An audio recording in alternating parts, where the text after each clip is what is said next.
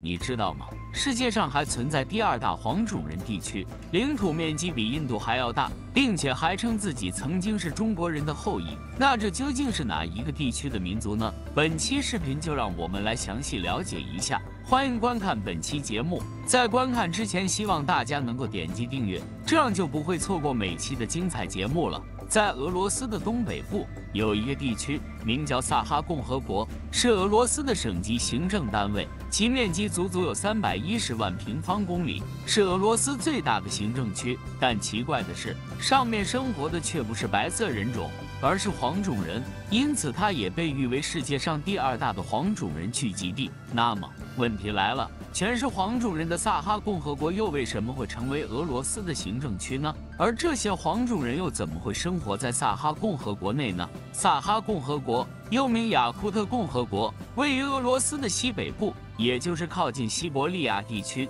其首府名为雅库茨克市，也就是相当于我们的省会城市，并且与俄罗斯的楚科奇自治区、克拉斯诺亚尔斯克边疆区、伊尔库茨克州、赤塔州、阿穆尔州等地区接壤，并且与北冰洋也接壤，算得上是一个交通枢纽之地。而除了位置较好外，萨哈共和国的面积也不小，足足有三百一十万平方公里。占俄罗斯总面积的百分之十八左右，比整个印度面积还要庞大，是整个俄罗斯境内面积最大的行政区，行政级别相当于我国的省级行政单位，同时也是全球面积最大的行政区，在全球都独树一帜。不过，面积虽然比印度大，但萨哈共和国的人口却远远赶不上印度。比如，印度的人口接近十四亿，而萨哈共和国的人口却只有一百来万，是典型的地广人稀之地，人口密度大约在零点三人每平方公里的程度，是全球人口密度最低的地区之一了。不仅人口比印度少，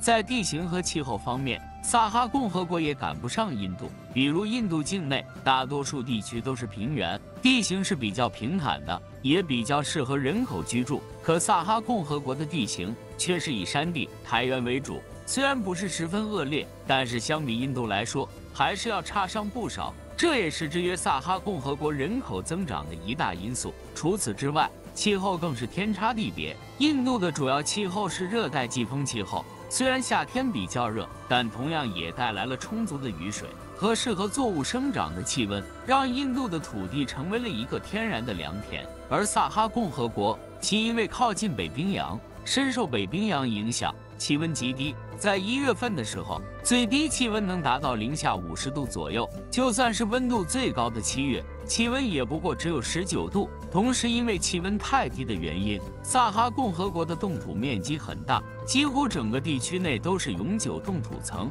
冻土层的平均深度更是在三百米以上，其中最深处的冻土层更是厚达一千五百米，是全球冻土最深的地方。而如此恶劣的条件，不要说耕种，就是生活也比较较困难。这也是为什么萨哈共和国人口如此少的主要原因。除了生活在本地的雅库特人外，基本上没有其他外来民族。但是让人惊奇的是，生活在当地的雅库特人，并不是俄罗斯族一样的白色人种，而是地地道道的黄色人种。这种奇怪的现象让人十分好奇：如此纯正的黄色人种聚集地，为何会成为俄罗斯联邦的一部分呢？根据现有的资料推断。和一些文献表示，萨哈共和国之所以全是黄色人种，并且成为俄罗斯的一部分，主要跟历史有关。萨哈共和国的原始居民名为雅库特人，是突厥人的一支。据一些考古资料表明，在公元十世纪前，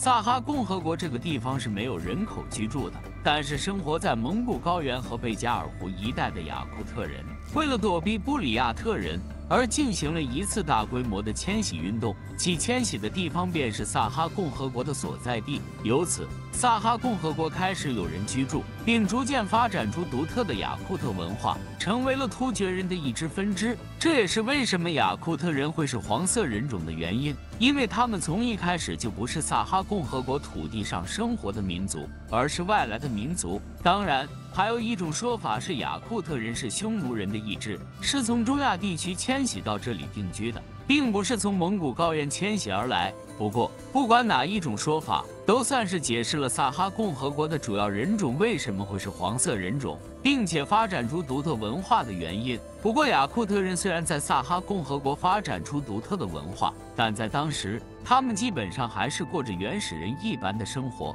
靠打猎和捕鱼为生，没有完善的社会结构，也没有健全的统治机构。而到了十七世纪时，俄罗斯人因为向东探险的原因，来到了此地，并在此建立了一些地堡和城堡，和当地的雅库特人有了交流。这些城堡中有一个城堡名为雅库茨克城堡，也就是后来萨哈共和国的首府。俄罗斯人在和雅库特人交流时，因为制度技术比较为先进，很快便走上了吞并萨哈共和国的道路，将雅库特人逐渐吸收到了俄罗斯人的主体民族中去。到了一六三二年的时候，雅库特人融入沙俄政府的举动已经初见成效，此地也成为了沙俄继续向东探索、向东扩张土地的桥头堡。此后的几十年里，沙政府也是一面融合雅库特人，一面以萨哈共和国为基地，开始了向东面，也就是现在的西伯利亚地区的探索之旅，将沙俄的领土扩大了几倍。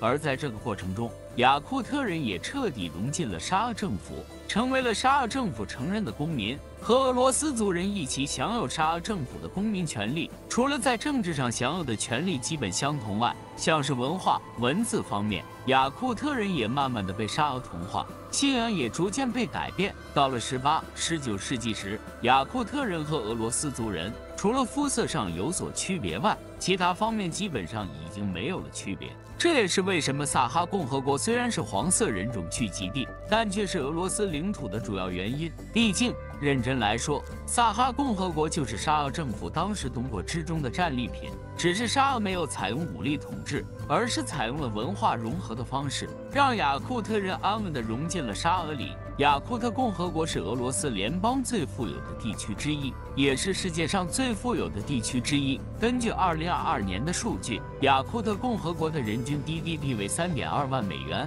相当于我国的上海市。雅库特共和国的总 GDP 为308亿美元，相当于中国的云南省。雅库特共和国之所以如此富有，主要是因为它拥有丰富的自然资源。雅库特共和国是世界上最大的钻石生产国，占全球钻石产量的百分之二十五。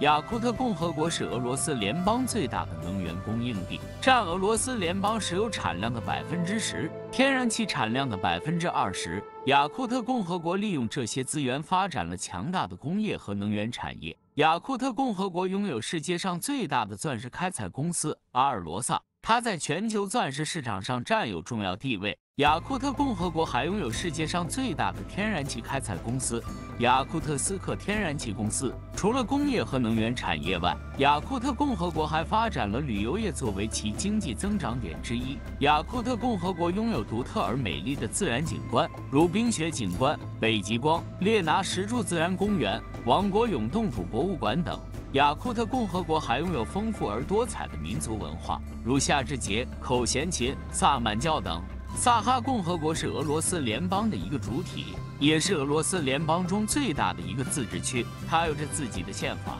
法律、旗帜、徽章等符号，也有着自己的总统、议会、政府等机构。它享有比其他地方政府更多的自治权利和自主权利，可以在一定范围内制定自己的经济。社会、文化等政策，并可以与其他国家或地区进行合作。然而，萨哈共和国与俄罗斯中央政府之间并不总是和谐相处。萨哈共和国曾经多次要求俄罗斯中央政府给予更多的财政支持和税收优惠，以反映其对俄罗斯联邦贡献的比例。在萨哈共和国内部，也存在着一些独立运动和分裂势力。一些雅库特族民族主义者认为，萨哈共和国应该从俄罗斯联邦脱离出去，建立一个完全独立的雅库特国家。他们认为，俄罗斯联邦是对雅库特族的压迫者和剥削者。他们要求恢复雅库特人民共和国的名号，并重新使用拉丁字母作为雅库特语的文字。他们还反对其他民族在萨哈共和国内的移民和定居，尤其是俄罗斯族。当然，并不是所有的雅库特族人都支持独立运动或分裂势力。大多数雅库特族人还是认同并支持萨哈共和国作为俄罗斯联邦的一部分。他们认为这样更有利于萨哈共和国的发展和稳定。他们也尊重并接纳其他民族在萨哈共和国内的存在和贡献。他们认为多元化是萨哈共和国的优势和魅力。雅库特不仅是一个美丽而神秘的地方，也是一个富有而发达的地方，也是一个独立而自豪的地方。它是我们的邻居，也是我们的亲戚，也是我们的朋友。它值得我们关注。胡了姐，也值得我们合作和交流。本期视频到此结束，喜欢的可以点击订阅，我们下期再见。